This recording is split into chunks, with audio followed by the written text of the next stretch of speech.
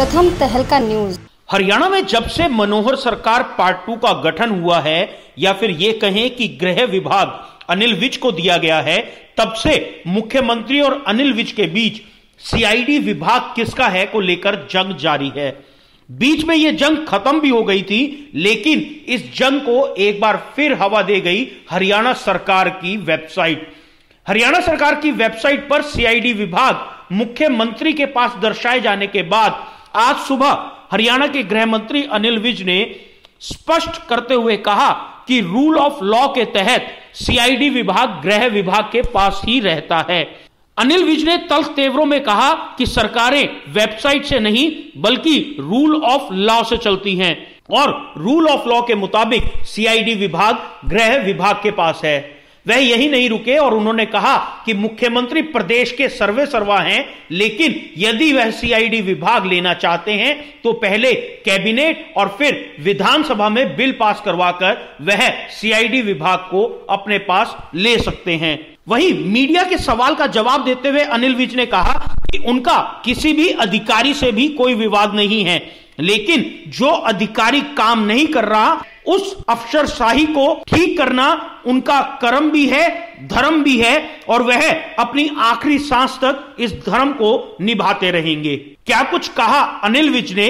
आप खुद सुनिए। वेबसाइटों से नहीं चला करती। सरकारें चलती हैं रूल ऑफ़ लॉ से और हरियाणा बिज़नेस ऑफ़ एलोकेशन में पेज नंबर तीस पर होम डिपार्टमेंट के अंतर्गत रूल पाँच में साफ़ लिखा हुआ है कि सीआईडी इसका अभिन्न अंग है। और वैसे मुख्यमंत्री जी सुप्रीम होते हैं, वो चाहें तो इसको बदल भी सकते हैं, पर बदलने के लिए पहले कैबिनेट में पास करवाना पड़ेगा, फिर विधानसभा में पास करवाना पड़ेगा, उसके बाद इसको बदला भी जा सकता है। और आज की तारीख तक तो कोई ऐसा चेंज हुआ नहीं।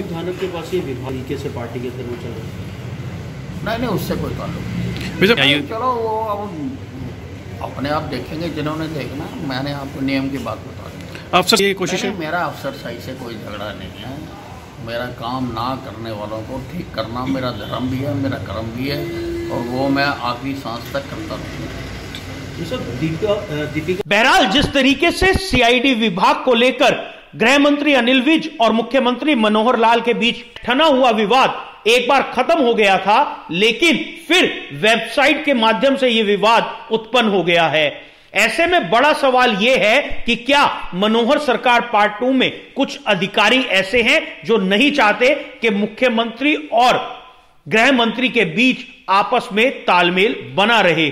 बहरहाल, ये जाँच का विषय है, लेकिन कहीं ना कहीं ये ज़रूर कहेंगे कि बैठे बिठाए विपक्ष को एक बार फिर सरकार को घेरने का मुद्दा ज़रूर मिल गया है।